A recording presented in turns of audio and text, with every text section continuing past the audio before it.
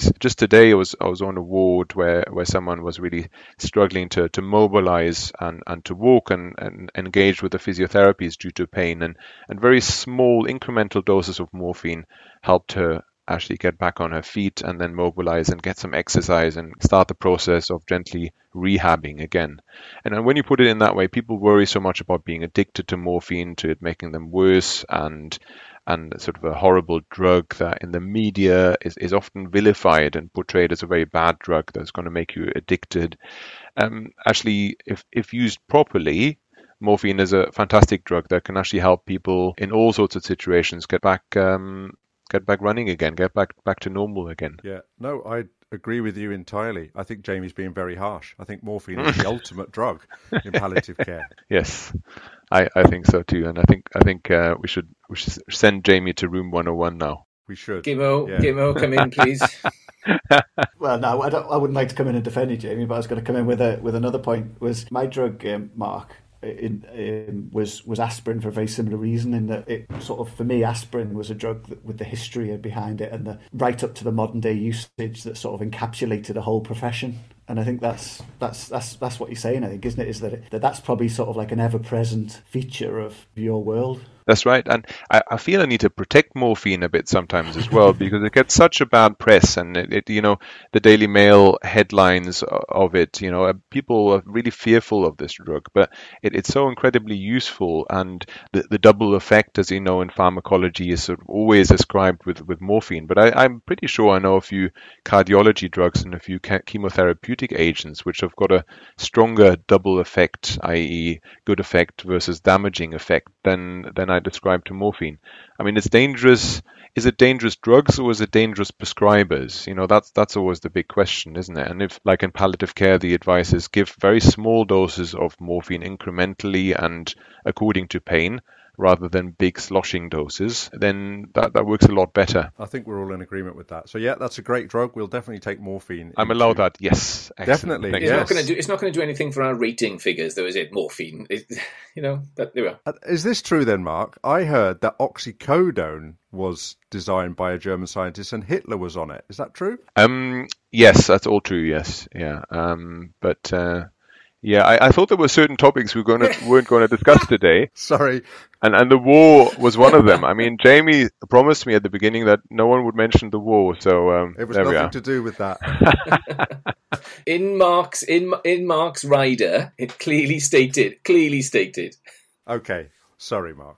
I just I heard that story. Okay, apologize for the inconvenience. So, would you also like to offer the Aural Apothecary a career anthem then, Mark? Yes, I mean, again, very difficult, very changeable when it comes to to music, and and that's actually a good link up because I'm going to choose Changes by David Bowie because it's I mean David Bowie as as I've often said has sort of been a sort of soundtrack to my life to in a certain degree. I can remember different Bowie songs will evoke different memories. And it was a toss up really uh, between Changes by David Bowie and and the Changes album actually which was one of my first exposures to David Bowie and some of the tunes by Siouxsie and the Banshee which I'm a big fan of as well. I, I just plumbed for David Bowie because I suppose that's been there since my, my, my early teens and is still there. And of course, there was the big David Bowie letter that went viral. In just answering the question, I suppose an anthem to your career, I think it said "Changes Bowie" is is is my choice on this one. Absolutely fun, fantastic tune. You've redeemed yourself. Oh, okay.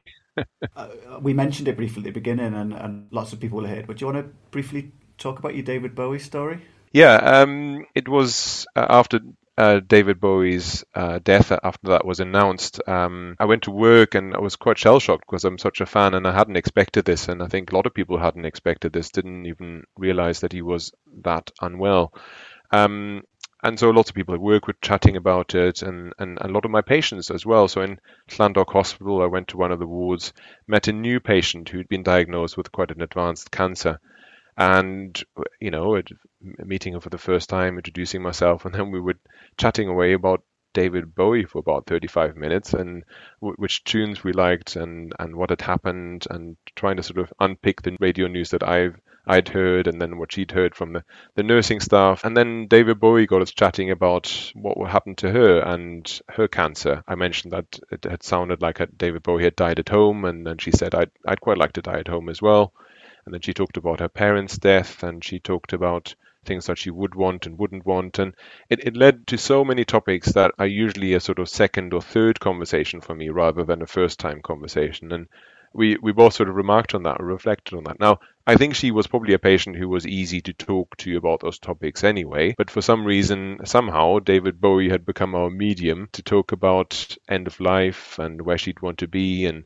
she said she'd prefer to be at home, but would also accept the, the hospice um, as an option. Yeah, so I, I, wrote this all down. I had my appraisal was due, so I needed to reflect on something, and I was lacking appraisal stuff in my, my folder. So I wrote this down in a reflective way, and it just grew longer and longer because David Bowie had meant so much to my life and, and other people's lives as well. So, and then I watched the, the, the video for Lazarus and Blackstar, and he's writing a letter in it. And so I, th- I just had a, this sort of click moment when I thought, oh, I'll just turn this reflection into a letter. And then it was published on the British Medical Journal Supportive and Palliative Care blog, which, if I'm completely honest, you know, maybe gets 100 hits or so uh, and not more. And then Marie Curie picked up on it and the Marie Curie charity uh, tweeted it. Then it got a lot of hits then because Marie Curie has got a, quite a big reach.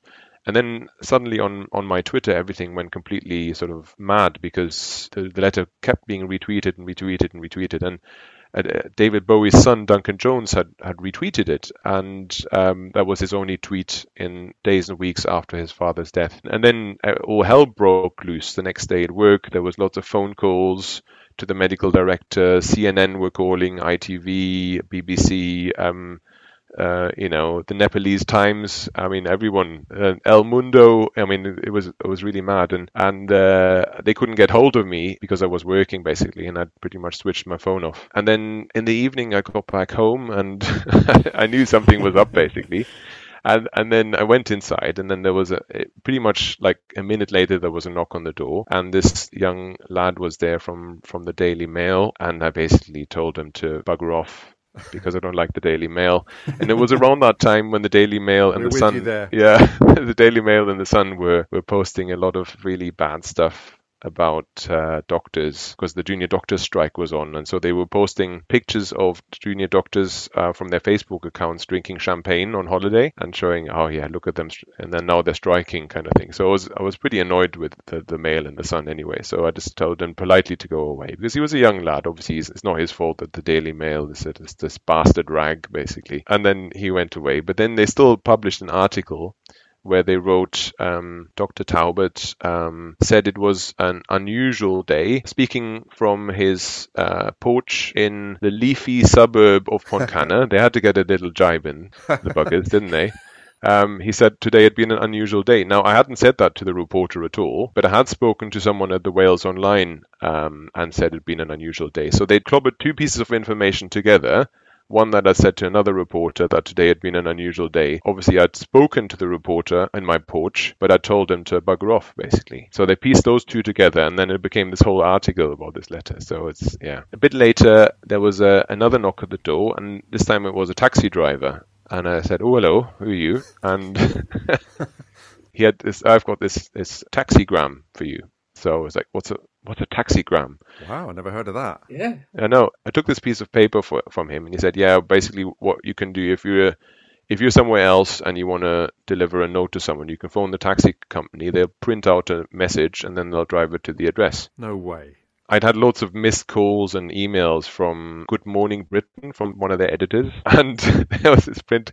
We've been trying to get hold of you. Would you get into this taxi and come to London so that you can be on Good Morning Britain with Fern or whatever, basically the next morning? And I, I just looked at the taxi driver and said, "Yeah, it's ridiculous. It's not your fault, but can you tell them no?" because I had a busy day the next day, and I, yeah, I didn't want to go to London particularly. So that was that, and then lots of people uh, wrote about it. The BBC came to work and they did a, a brief feature about it.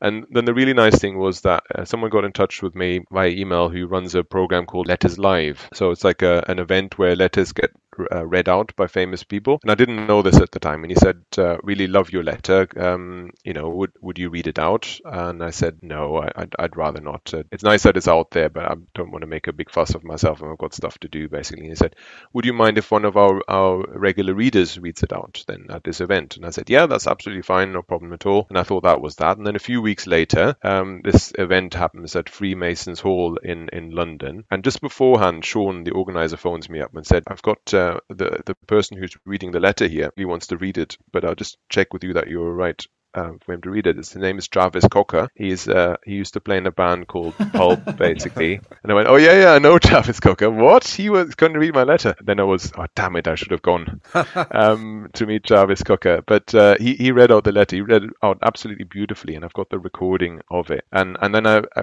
through that I got to meet Jarvis Cocker a few uh, few weeks later, and he said, yeah, Margaret was really pertinent this letter because shortly before I, I read the, that, that letter, I'm you know my my father died recently recently, and uh, he was in Australia, and I had to deal with issues like DNACPR and that was a really pertinent part of the Bowie letter for me. So incredible speaking to Jarvis Cocker about this and, and him talking about his, his, his dad. And then yet a few weeks later, uh, Sean phones me again and said, this time he's at Hay Festival, oh, we want to read your letter again. And I said, oh, who's it this time? And he said, uh, yeah, Benedict Cumberbatch, do you know him? He's an actor. and I said, yes, I know him. Um, this is, um, uh, uh, well, I'm coming up. So I drove up to Hay Festival basically because that's not too far away and I sat in the front, front row, scratching my head as to what had happened. And uh, there's Benedict Cumberbatch reading reading my letter out, and uh, yeah, very very strange. And so the legend was born. That is a brilliant story. Yeah, absolutely. that is a brilliant story. It shows as well, doesn't it? I think it might not sound like it, but we have put some thought into this in, in this podcast, and, and, and music is really powerful, isn't it? That whole story is based on the connection you had with someone through music. I think that's that's brilliant. That's that's right, and and how how it all linked and, and clicked together. That's why we love music, and that's why we always ask our guests for a career anthem. Fantastic story. Thank you very much for that, Mark. And finally, would you like to offer a book, perhaps, that you think is very thought provoking for our listeners? Yeah, so I didn't read the question particularly well on that one and I thought your question had been, what book do you want to sort of share? But n- nothing that sort of necessarily necessarily had influenced my career. So, but I think you want one that influenced my career, don't you? It's up to you. Or, or you'd recommend to younger clinicians starting out. To younger clinicians starting out, I mean, one that I've talked about during the uh, pandemic, uh, which really influenced me, and I was I was sort of forced to read this book because I took French at school. It's The Plague by um, Albert Camus, and I really didn't want to read this book at all, um, but I read it and I, I, I really loved it, and it stayed with me to this day. Um, there's many many different characters, but there's a central doctor character. Dr. Rieux is his name, and the way he he, he deals with patients, handles uh, everything is was quite inspirational. I found, but it also dealt with how other people dealt with the pandemic and with this plague and this town Oran going into into isolation, into lockdown, basically, and how people dealt with it. And you see all sorts of things coming in: religion, science, faith, and and and also just sheer panic and, and fear and d- during this re- really sort of nasty pandemic when, when people were dying i actually um I read it again at the start of um, covid-19 which is probably you, you might think the worst thing you could possibly do but it's, it's such a good book and i can really recommend it after i did a little um, review of it again on the bmj supportive and palliative care blog um, and at this time it really only got about 89 views or something like that. So maybe maybe your aural apothecary. Hold on, yeah, hold on, hold on tight. Yeah, okay. maybe maybe add a few uh, readers to, to this blog. Yeah, that's right. Excellent. So I hope they followed the science in that. By the way. Well, yeah. I mean, you you, you could you could argue about that. The, the, I mean, the science is is obviously um, discussed at, at length by Albert Camus, but he himself isn't a, a, scientist, and you can see a lot of errors uh, within the book. So I'd say you sort of overlook that a little bit, and you know the the way the plague is transmitted and where it's come from and how it works, etc., etc. So you have to be a bit um, a bit tolerant of, of, of, that, but otherwise it's a fantastic book actually, and it's about occupation basically. I think you got one up on, on Matt Hancock because he he um, he said he learned everything he knew about it from Contagion, the film, wasn't it? So... oh yeah, he did the, true narrative of the story, what Albert Camus really meant was this was essentially an occupation. You know, the sort of the, the disease is actually an occupation, and it was about you know G- uh, Germans and Nazi Germany and the occupation and, and those kinds of things. And there's a lot of kind of um, metaphor uh, in that as well, and, and that's why it's an interesting and fascinating uh, book as well. Okay, good. Well, we like our listenership to be stretched, so it's the Plague by Albert Camus, if I got that right. If you may indulge me, so because I thought, you know, what what book would you recommend? Just recommend to people. I'm a big fan of Haruki Murakami, as a Japanese author, um, and he's he's written quite a few uh, many many novels and there's lots to pick from and I, I really like most of them